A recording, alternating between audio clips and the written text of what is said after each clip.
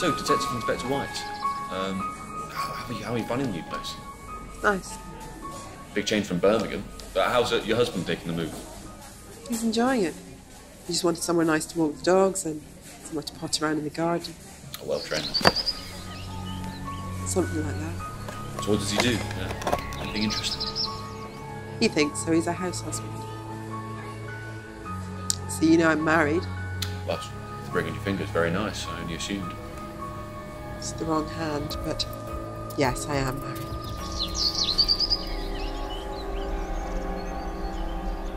So, Using your detective work, I see. Either that or very unsubtle flirting. How about you?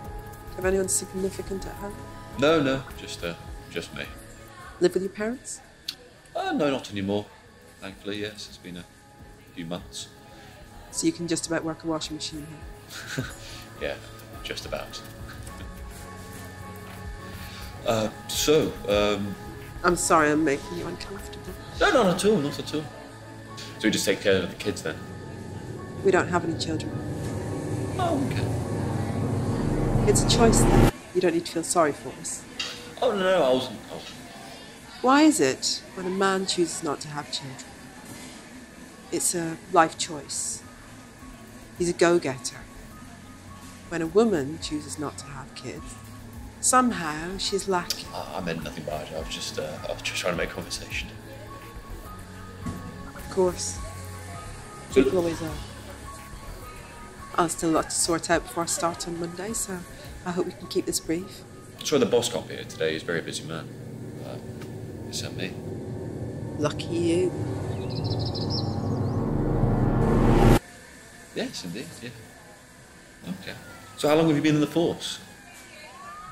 Years. You? About two now, yeah. The uh, boss saw some potential in me, and so I've been uh, fast-tracked to uh, inspector. Fast track. Interesting. Indeed. Do women have that opportunity as well? Inspector. I like to think so. We're quite progressive here. Your track record is exemplary. Like I said, I've been following the case, following you for many years. Do you know how many female inspectors of my level there are compared to men? Nor do I, but it's an interesting question, isn't it? But I've worked very hard to earn my stripes. I tend to find that for women in this and most other industries, there's only one of two ways to make it.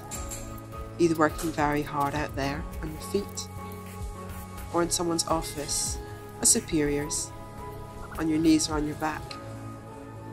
So, uh, you looking forward to work on Monday? It should be, uh, should be interesting. Why the move here? I thought we'd move somewhere quieter. Nothing to do with the Ivor killings at all? Sorry, I've been following your case quite, uh, quite closely. Of course. It's an interesting case. Five killings, three attacks. It was quite personal for you. It looks like he was following you around, goading you. Well, I'm- just saying because, well, as soon as you move, the killing seems to move with you. Do you think the, uh... Ah, having done your research, Inspector, you will have seen in the tabloids that there was a theory, of course, that the killer was somewhat goading me and following me. As you know, he kept asking for me by name whenever he was sending in messages. Who knows? Well, hopefully you caught the person anyway. Indeed. Hopefully, we'll be having a quieter life here. Well, we can only hope. Indeed. How have you done it?